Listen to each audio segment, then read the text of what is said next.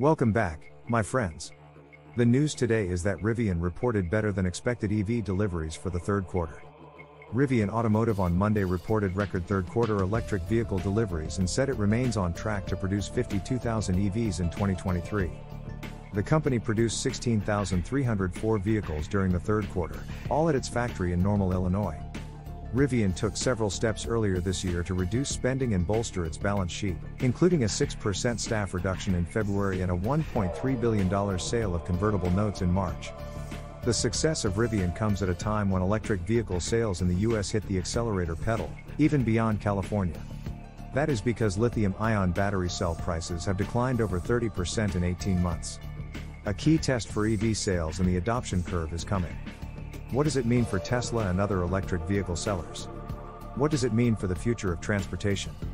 What does it mean for the US economy? And, what does it mean for the future of the United States?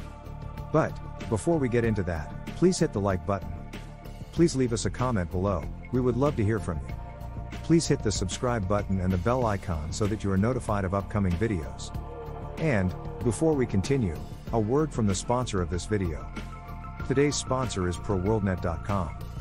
ProWorldNet.com is a job website specifically dedicated to licensed professions. Doctors, including any type of specialty. Nurses, and that includes all grades of nurses. Lawyers, regardless of area of legal focus. Teachers and professors, from kindergarten through graduate school. As well as any kind of job that requires a government license or certification. And ProWorld.net also includes short term gig type jobs as well. So, be sure to check out ProWorldNet.com if you are looking for a job or an employee. Rivian Automotive on Monday reported record third quarter electric vehicle deliveries and said it remains on track to produce 52,000 EVs in 2023. The company said it delivered 15,564 vehicles during the period, up 23% from the second quarter of 2023 and ahead of Wall Street estimates. Analysts surveyed by FactSet had expected Rivian to deliver about 14,000 vehicles in the quarter, on average. Rivian produced 16,304 vehicles during the third quarter, all at its factory in Normal, Illinois. For those of you not familiar, Rivian is an American electric vehicle manufacturer and automotive technology and outdoor recreation company founded in 2009. They produce electric sport utility vehicles, SUVs, and pickup trucks on a skateboard platform that can support future vehicles or be adopted by other companies. Rivian's vehicles are designed to be environmentally friendly, with a common goal of preserving the natural world for generations to come. The R1T is a pickup truck that can travel up to 400 miles on a single charge, while the R1S is an SUV that can also travel up to 400 miles on a single charge. Both vehicles are marketed as electric alternatives to rugged SUVs with truck like engineering like Range Rovers and Jeeps, but with technology that makes clambering over boulders relatively easy. Rivian's entire electric vehicle brand is built around the outdoor lifestyle, with a luxury glamping edge. With more electric vehicle choices than ever, EV sales in the US are hitting new heights. In just the first half of 2023, over 670,000 EVs were sold with over 80% of those fully electric battery electric vehicles, BEVs. It took 8 years for the first million EV sales, but now more than a million have been sold in just the past 12 months. Several factors are likely responsible for EVs hitting a tipping point in sales. More EV models are now available, from small cars to pickup trucks, meaning more buyers have an electric option that meets their needs. More widespread adoption of EVs across the US is also a factor. We're seeing EV sales increase outside of California, the historical leader for EV sales. From 2014 through 2017, more than half of all EVs sold in the US were purchased in California, but that fraction has now fallen to one third. While many Californians are used to seeing EVs in their neighborhood, it's only in the last few years that we've seen large increases in sales in other states. Florida and Texas are now second and third in cumulative EV sales, despite state leadership that has been antagonistic towards EVs and a more conservative leaning population. The higher EV sales volume in Florida and Texas is in part tied to the higher population there, but there are signs that buyers across the political spectrum are interested in EVs. Many buyers are likely swayed by the fact that they can save money on gasoline and greatly reduce their emissions at the same time.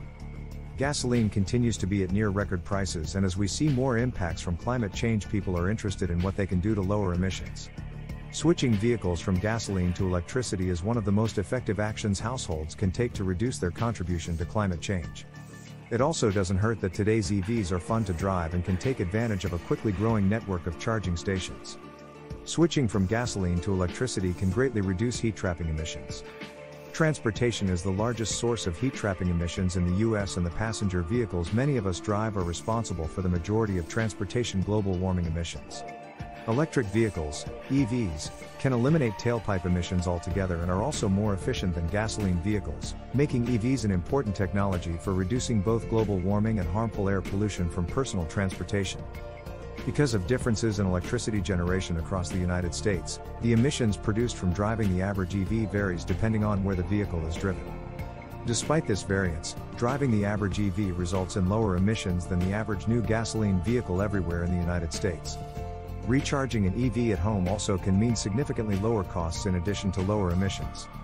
For example, electricity in Dallas costs between 13 and 17 cents per kilowatt hour, making the cost to drive an electric Ford F-150 100 miles between $6.20 and $8.15. Based on the current gasoline prices, driving a gasoline F-150 100 miles would cost from $13.50 to over $28, depending on the version of F-150.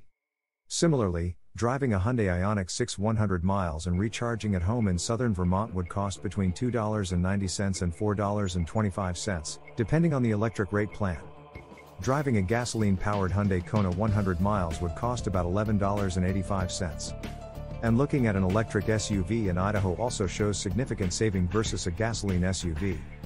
A Rivian R1S costs about $3.70 to drive 100 miles when recharged at home. A Dodge Durango refueled in Idaho would cost $19.50 for the 6 cylinder model and over $24 for the 8 cylinder version to go 100 miles. More US drivers are picking EVs than ever before because EVs are a better option. EV sales in the US are ramping up, in part due to more models available than ever before. This is good news for slowing climate change as EVs produce much lower emissions from driving now, and this will get even better as we switch to cleaner sources of electricity. It's also good for households across the US as switching from gasoline to electricity can have significant saving on refueling costs. One of the biggest hurdles to electric car proliferation is the cost.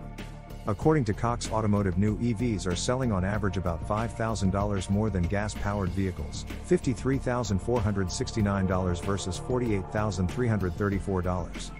While government incentives can negate some of that gap, and electric cars don't need pricey gasoline or as much maintenance to drive around, consumers still don't view EVs as a bargain buy. That might be about to change. For the last decade, various research firms have postured that EV batteries need to see prices decline to $100 per kilowatt hour in order to achieve parity with gas cars. In July, the average weighted price of a kilowatt hour worth of battery dropped below that for the first time in two years. In spite of significant monetary inflation, prices are still dropping, and soon the price of an electric car drivetrain will be less or equal to a gasoline vehicle to produce. The biggest single factor in this price cut has been passed on from the value of the raw materials. Lithium prices have halved since the beginning of 2023, cobalt prices have reached their lowest in history, and battery metals like nickel are down 25% so far this year. Additional reductions in price come from government subsidies, stronger market competition, and improvements in battery chemistry. Chinese produced NCM 811 battery cells have dropped to just $82.60 per kilowatt hour, which is there or thereabouts the price point needed to assemble a $100 per kilowatt hour pack. This is a far cry from where lithium ion battery packs used to be. When the original Nissan Leaf was introduced back in 2011, the average price for a kWh of energy was near $1,000. To literally see that price decimated in just 12 years is pretty astonishing, especially when recent sky high inflation is connected. With a new source for lithium having just been uncovered at the McDermitt caldera, a long dormant supervolcano on the border between Nevada and Oregon, it's likely those prices will only continue to come down. It could change the dynamics of lithium globally, in terms of price, security of supply, and geopolitics. The US would have its own supply of lithium, and industries would be less scared about supply shortages. Of course, the cost of batteries is only a piece of the EV pricing pie. The American market seems to be migrating toward only large, tech heavy, luxury focused, and long range electric vehicles, which are always going to be expensive. Rapid proliferation of EVs in Europe and Asia has been largely driven by lower cost compact EVs with shorter range.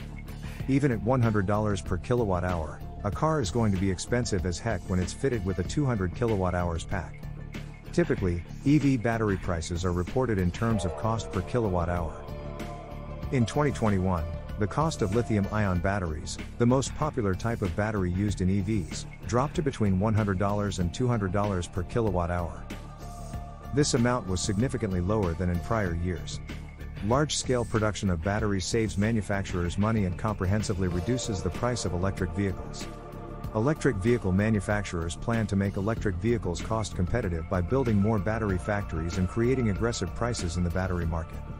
Now, market research firm TrendForce released a report on Thursday showing that the price of batteries used in EVs and energy storage dropped 10% in August as a result of the slowing demand for the cars. The company also noted that additional price declines are anticipated throughout the rest of the year. What do you think? Please hit the like button. Please leave us a comment below. We would love to hear from you. Please hit the subscribe button and the bell icon so that you are notified of upcoming videos. Please share this video on social media. Thank you for watching.